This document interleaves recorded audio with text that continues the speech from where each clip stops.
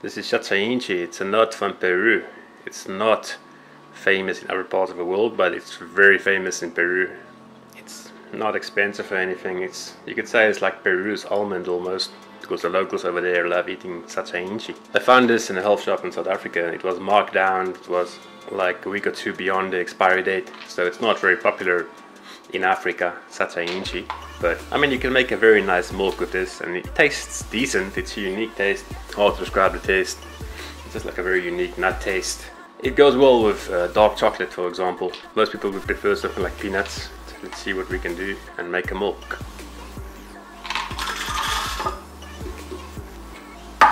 Put in three cups of water.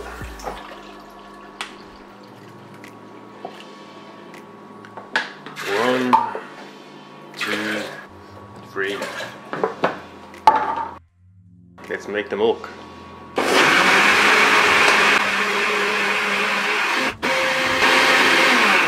So obviously the finer you can make the nuts, the more milk you're gonna get out of this. The more flavor your milk will have. That's why I shouldn't be shy to like just let the blender run for a minute or so.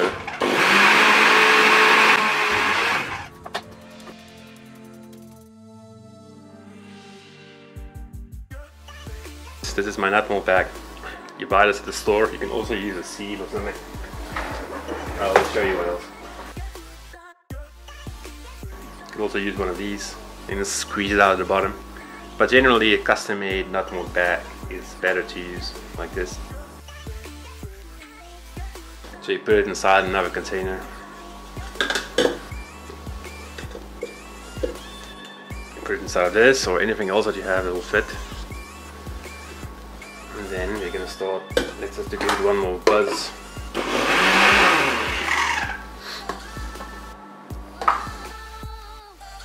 And now we're gonna throw in the milk.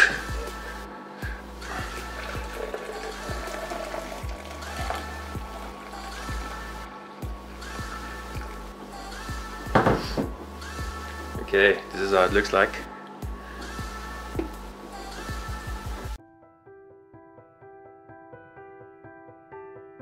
Now you have to squeeze out the milk at the bottom.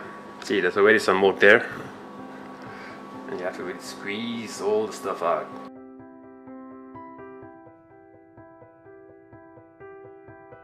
There will be a fine powder left that you can use for baking or so.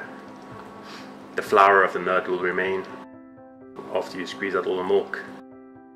So you could use any nut for this, doesn't have to be Sacha Inchi. But using this exotic nut, it's kind of a way to demonstrate that you can use any nut whatsoever, whatever nut you prefer. Walnuts, almonds, macadamias, peanuts, any type of milk that you prefer. It's filling up quite nicely, but the final taste will be the taste. So, squeeze out the milk, let's see if it tastes nice. Taste isn't that strong, it's a weak sort of taste. Maybe with the specific nut, use a bit less water. This is the Sacha Inchi powder what remains after you squeeze the out.